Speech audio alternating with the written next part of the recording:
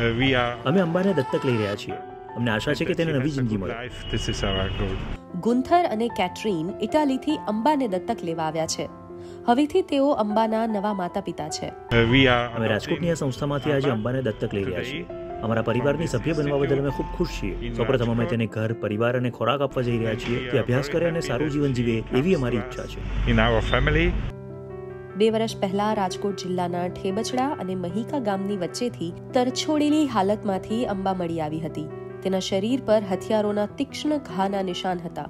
ત્રણ મહિના સુધી જિંદગી અને મોત વચ્ચે જજુમી રહેલી અંબા માટે દરેક લોકો પ્રાર્થના કરી રહ્યા હતા અને બધાની પ્રાર્થના કામ પણ આવી.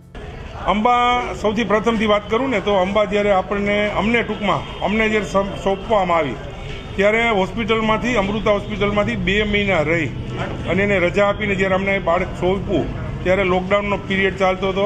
અને એ સમયની અંદર જ્યારે અંબાને અમને સોંપી, ત્યારે અમને ખરેખર મનમાં બહુ ચિંતા હતી કે આ દીકરી આટલો હોસ્પિટલમાં રહીને આવી છે, આવી પોઝિશનમાં છે. અને આપ સમજી શકો છો, બે મહિનાનું, બે મહિના પછી બાળક, આટલું નાનું બાળક હોસ્પિટલેથી આવે, તો કેવું એનું મોઢું ને બધું હોય? ત્યારે ભગવાનને ખૂબ પ્રાર્થના કરી હતી કે હે પ્રભુ અમને આ આશ્રમને અને મને જસ અપાવજો કે આ દીકરી સાજીને સરસ થઈ જાય. ત્યારે કોઈ અમને એવી કલ્પના પણ નહોતી કે આ દીકરી ઇટાલી જશે.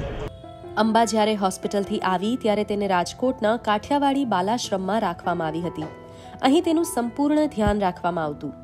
આખરે ઇટાલીના આ પરિવારે અંબાને દત્તક લેવાનું વિચાર્યું અને બધી પ્રક્રિયા બાદ તેમણે અંબાને દીકરી તરીકે સ્વીકારી. We will first of all give her a home a family and our love, and we want to that she can uh, that she will be educated in school, and that she has a chance in the life, and that she has a good life. This is our goal. આ આશ્રમ એકસો ને ચૌદ વર્ષ જૂનો આશ્રમ છે અને એકસો ચૌદ વર્ષથી આ બધી પ્રક્રિયાઓ ચાલે છે અને એની અંદર જે બાળકો ફોરેન ગયા છે એમાં ખાસ કરીને મેજોરિટી આપણા બાળકો અત્યારે જર્મનીની અંદર છે કાઠિયાવાડી આશ્રમ અને ઇટાલીના ગુંથર અને કેટરીનના સહયોગથી ગુજરાતમાં હજારો તરછોડાયેલા બાળકોમાંથી એક એવી અંબાને નવું જીવન મળવા જઈ રહ્યું છે.